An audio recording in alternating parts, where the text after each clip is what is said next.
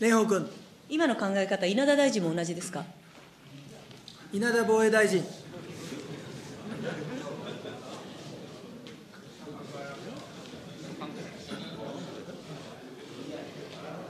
主化外のことでございますので、えー、答弁は差し控えさせていただきますが、まあ、財源を確保して、そして政策を行っていく、これは当然のことだと思っております。蓮舫君。資料につけさせていただきましたが、平成23年3月の正論という雑誌で、稲田大臣は、子育て予算と防衛予算について、何と発言されてますか、教えてください。稲田防衛大臣。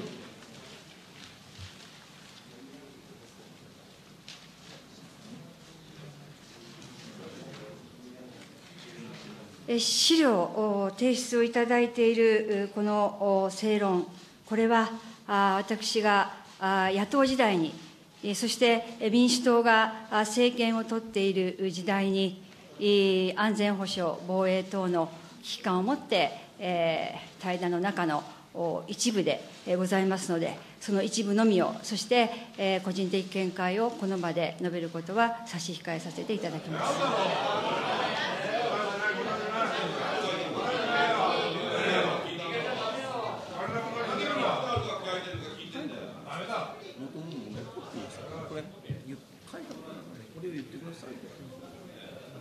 今の見解じゃなければ今の見解じゃないと言えばいいわけ参議院予算委員会の質疑の模様を参議院第一委員会室から中継でお伝えしています。委員長席の周りには与野党の理事が集まって協議しています。今協議が終わりました。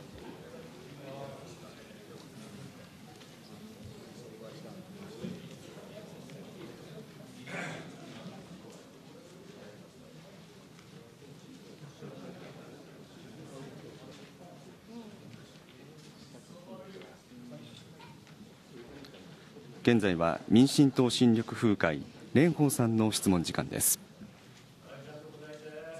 稲田防衛大臣。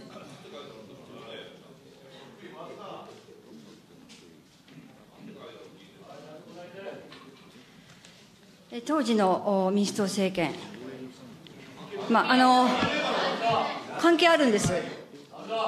日本列島は日本人だけのものではないという方が総理大臣になられ、辺野古について、最低でも県外、国外と言われ、大混乱をし、そしてこの対談をする数か月前には、尖閣で中国の公船が衝突をして、大混乱になっている中で、私は、私はその当時の民主党政権の安全保障、防衛に対して、大変危機感を持って、その点について、ここで指摘をさせていただいているわけでございます。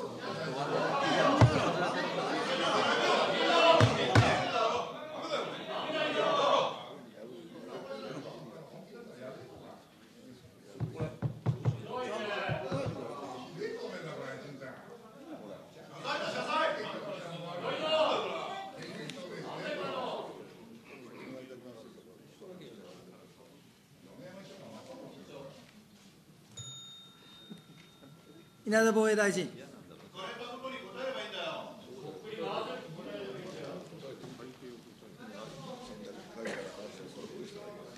まあ、そういった野党時代、しかも民主党政権の安全保障、防衛に関する状況について、大変危機感を持って、このままでは日本は潰れてしまうのではないかという、そういった中において、私は財源のない子ども手当をつけるぐらいであれば、軍事費を増やすべきではないかということを申し上げたわけでありま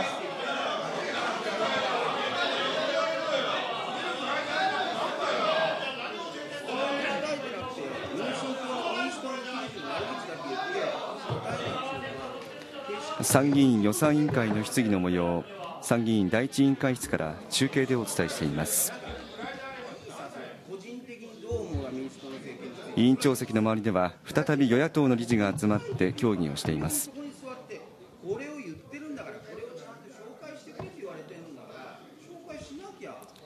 現在は民進党新緑風会蓮舫さんの質問時間です。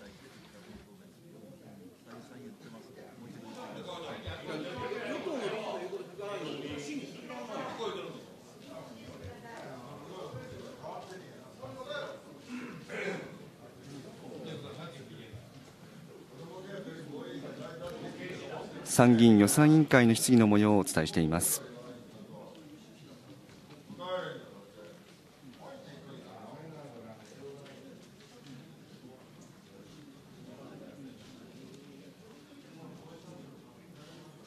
稲田防衛大臣。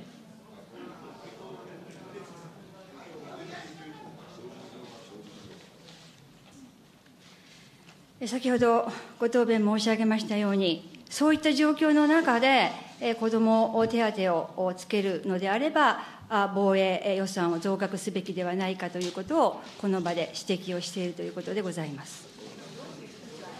蓮舫君。私は今の防衛大臣の答弁のその姿勢に危機感を覚えます。あなたが当時、個人の判断として言った発言、今の総理の予算の姿勢と真逆なんですね。なんと発言したのか、まず読んでもらえますか。稲田防衛大臣。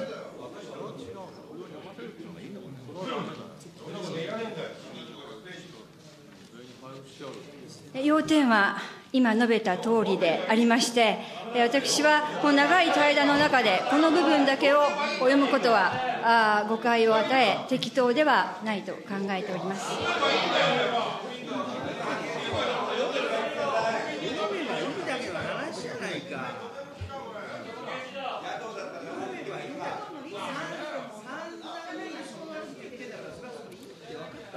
参議院予算委員会の質疑の模様を参議院第一委員会室から中継でお伝えしています。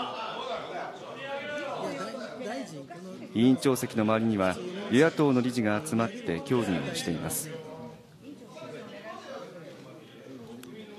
現在は民進党新緑風会蓮舫さんの質問時間です。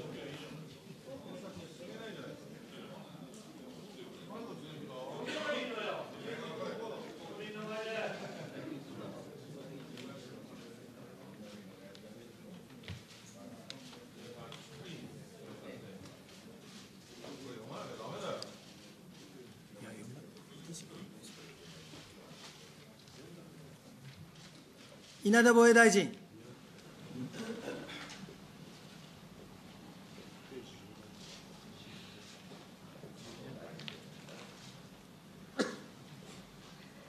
この資料すべて読み読みますか？あのどどこどこを読むんでしょうか？してますよ。通告してますよ。通告してます。稲田防衛大臣。えーまあ、この資料の中の各部部分だけを、ではあ、読み上げさせていただきます。今、防衛費は約4兆6800億円、22年度予算で GDP の1%以下です。民主党が平成21年衆議院で約束した子ども手当の満額にかかる約5兆5000億よりも少ない。この子ども手当分を防衛費にそっくり回せば、軍事費の国際水準に近づきます。自分の国を自分で守ることを選ぶのか、子ども手当を選ぶのかという国民に分かりやすい議論をすべきでしょうね。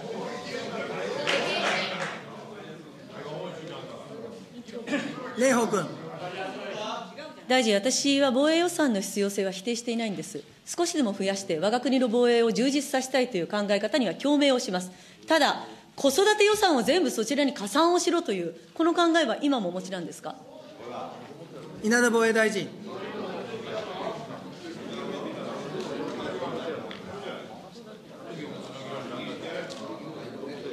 先ほど何度も指摘をいたしておりますように、その当時、本当に民主党の安全保障、大変危機感を持っておりました。そんな中で、マニフェストに掲げられた子ども手当等の財源も結局は見つからなかった。そういった状況の中で、こういう発言をしたということでございます。私は社会保障の政策、子育て政策、大変重要だというふうに思っております。財源を見つけて充実をさせていくべきであります。そしてまた、防衛についても安倍政権になってから、日米同盟はかつてないほど強固になっております。しかしながら、またあの日本を取り巻く環境も厳しい中で、しっかり我が国を守るための防衛、それは質も量も万全を期さなければならないというふうに思っております。蓮舫君。政権が変われば、野党時代に言ったことは何でも関係ないということでしょうか。この同じ雑誌で、稲大臣、あなたは、日本独自の核保有を単なる議論や精神論ではなく、国家戦略として検討すべきではないかと発言している。これ、今もそう考えてますか？稲田防衛大臣。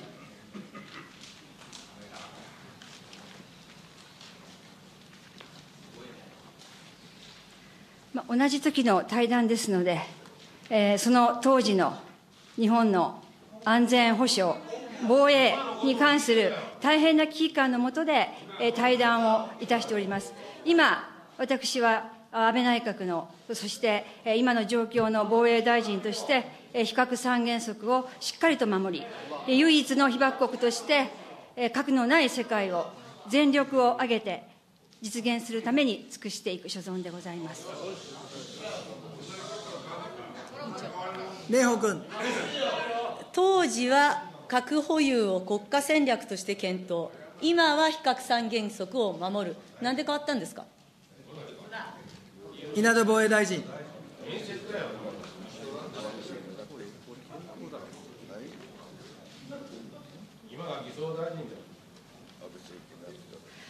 安倍政権になって、かつてないほど日米同盟も強固になっております。当時も日米同盟ガタガタにおいて、憲法9条、憲法9条の許す必要最小限度のあの防衛力とは何かということは、議論をしなければならないということでございます。私の今、あ核に関する見解については、先ほど述べたとおり、核なき世界を実現するために全力を尽くしてまいります。蓮舫君。はい。気持ちいいぐらいまでの変説ですね。これだけは確認してください。核保有とか、こういう乱暴な言葉が独り歩きしてはいけないと思いますので、当時の発言は撤回してください。稲田防衛大臣。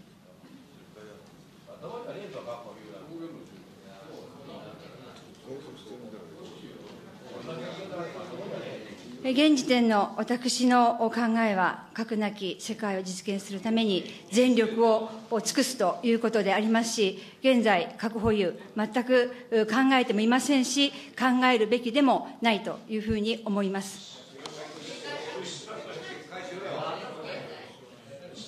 蓮舫君。